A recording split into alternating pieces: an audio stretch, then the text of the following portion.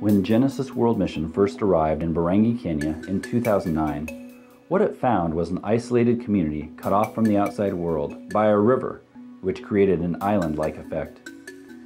Many of these people's problems were water related. Too much water many times a year created flood conditions. This resulted in epidemics of waterborne diseases and even death when trying to cross the raging river, overturning canoes in its strong current. To add insult to injury, the river makes it near impossible to get to town to sell or buy in the market. But seasonal droughts during other times of the year proved equally challenging as there was too little water for irrigation, severely reducing crop yields, often so much that there was not enough to feed a family, much less sell in the market. But just five years later, the situation is markedly improved because of the partnerships Genesis has helped assemble.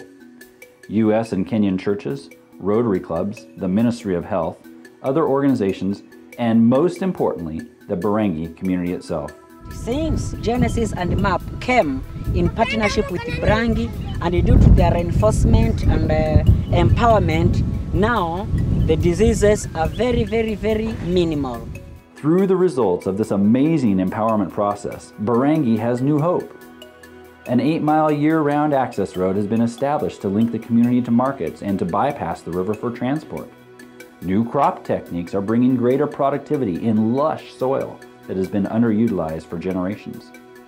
Community members are learning the value of health, proper sanitation, and hygiene practices, minimizing the suffering of preventable diseases.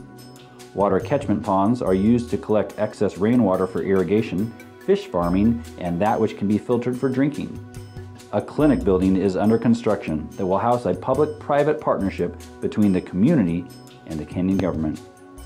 But the greatest thing of all is a community engaged in taking control of its own challenges and future, bringing to an end generations of isolation and poor health.